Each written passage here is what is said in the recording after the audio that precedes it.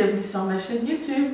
On se retrouve aujourd'hui pour un nouveau tuto. Donc aujourd'hui, il y a une abonnée qui est étudiante qui m'a demandé un tuto comment remplacer la blouse de physique chimie. Donc on commence par le col. Bon, si vous avez une centrale comme moi, vous faites que d'un côté. Si vous avez un petit fer, vous faites des deux côtés. Ensuite, donc vous fermez tous les boutons. On commence par la première manche. Donc la manche de gauche sur la blouse. Alors moi je vous fais ma technique parce que je suis droitière aussi. Si vous, êtes gauchère, il bah, faut vous organiser dans l'autre sens. on repasse la manche.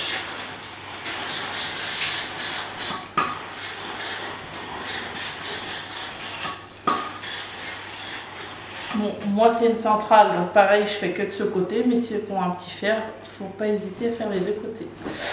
J'ai un pli là, donc je vais le reprendre du coup. Voilà. Ensuite, on prend l'autre manche qu'on positionne aussi en face de nous. Donc ça veut dire qu'on doit tourner la blouse. Maintenant, c'est la manche droite qu'on a en face de nous. On l'aplatit bien. Et j'ai pas mal de personnes qui me disent que ça fait des plis. Donc pour éviter les plis, il faut vraiment bien tout aplatir avant. Parce qu'une fois qu'on a repassé, c'est compliqué de avoir tout plis. Et on n'hésite pas avec la main gauche à tirer sur le tissu pour justement éviter les plis.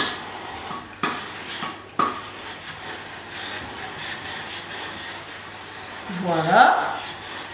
Donc là, les deux manches, c'est fait. Maintenant, le corps de la blouse. Donc on la met la face du dessus, enfin le devant de la blouse au-dessus, du coup, là où il y a les boutons. On l'aplatit bien. Donc il faut, se mettre au niveau de la couture. Voilà. Donc ça prend un peu de temps de bien l'aplatir, mais au moins comme ça on est tranquille, après il n'y a pas de faux plis. Voilà et on repasse. Toujours avec la main gauche en tirant dessus.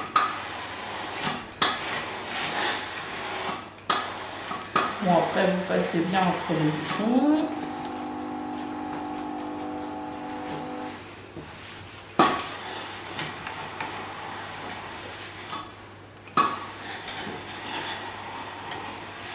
Voilà.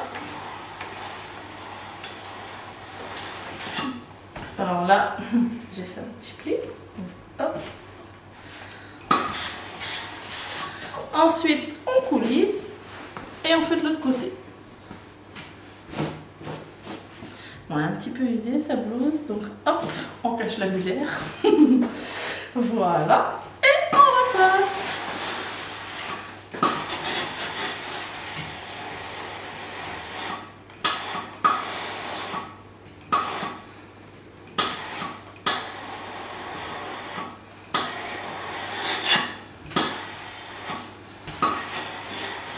Voilà. Donc là, tout est repassé. Maintenant, on va passer au pliage. Donc moi, avec ma main, je tiens bien le col ici. L'autre côté, pareil. Et je tourne. Hop.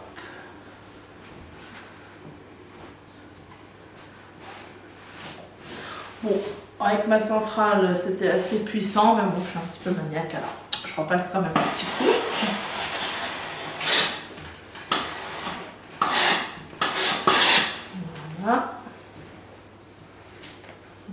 Le fil du coup ça enlève la blouse donc il faut bien le positionner. Voilà. Donc bah, le système de pliage c'est exactement comme un polo manche longue euh, le tuto 10 il que je vous ai fait. Donc vous rabattez. Bon là la distance c'est vous qui voyez hein, ce que vous voulez. Voilà ensuite on met la manche donc on, met bien le pli sur le pli pour que ce soit esthétique. Voilà. On fait pareil de l'autre côté. On essaye par contre qu'il y ait vraiment la même distance des deux côtés. Voilà. La manche.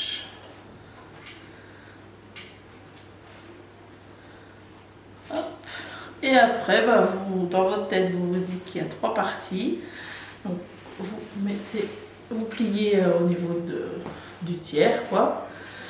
Et une deuxième fois, voilà. Après, il reste plus qu'à repositionner le col.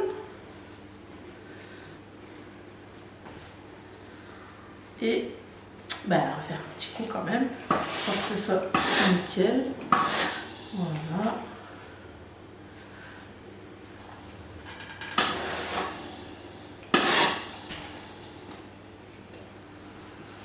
Et voilà Fait bien fait le tuto de la blouse de physique chimie. Voilà, c'était ma façon à moi, simple, rapide et efficace, de repasser une blouse de physique chimie. Donc j'espère que ça vous a plu. Et euh, si vous avez d'autres idées, bah, n'hésitez pas à me les dire, comme l'a fait cette personne. Je suis désolée, je ne me souviens plus de ton prénom, mais en tout cas, voilà, j'ai été répondu en vidéo. Et puis, bah, n'hésitez pas à liker, à vous abonner à ma chaîne YouTube.